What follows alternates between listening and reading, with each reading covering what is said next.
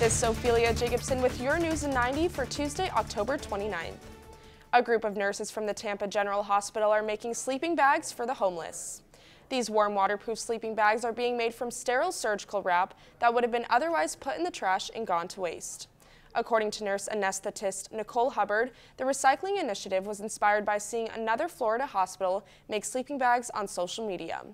With more nurses stepping in to help with the initiative, the Tampa General Hospital has already made 100 sleeping bags to hand out to the Tampa Bay homeless population just in time for the upcoming winter season.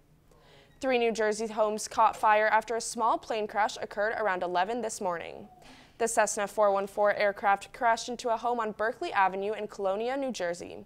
Witnesses say that the fire from the home that was hit quickly erupted and spread to two neighboring homes. According to locals, Colonia is a heavy residential area with tree-lined streets. The fire has since been kept under control after a group of up to 200 firefighters from nine different firehouses battled the flames. There has been no word yet on fatalities or injuries. The NCAA will be holding a meeting today to discuss the possibility of college athletes earning money through endorsements. This controversy has been a hot topic in the world of sports ever since California passed a law allowing student athletes to benefit financially from selling the rights to their name, image, and likeness. Although California's law is not set to take into effect until the year 2023, the National Collegiate Athletic Association is already being forced to consider revising their policy that prohibits athletes from being paid.